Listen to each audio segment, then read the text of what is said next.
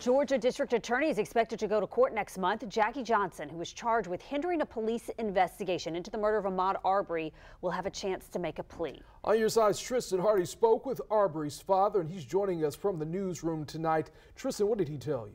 Anthony, it's been two years since Ahmaud Arbery was killed, and to this day, Marcus Arbery Sr. says he struggles coping with his loss, and he says his family has been waiting for this moment. Jackie Johnson is charged for violating her oath of public office and obstruction. She's accused of using her office to try and protect the McMichaels and on the day of the shooting, telling police to not arrest the men who killed Arbery.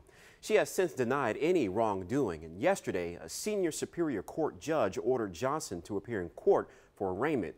Now, this will be her first court appearance since she was indicted last year.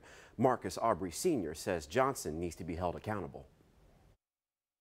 Just got to think how long she been doing this stuff and messing African American people up and all this stuff. It, it just it's just a mess. And you know, God just had to show up. He got his way of, showing you up when you're doing wrong. And Jackie Johnson's court date is December 29th at 10 in the morning. She's expected to show up to the Glynn County Courthouse. In the newsroom, I'm Tristan Hardy. First Coast News on your side.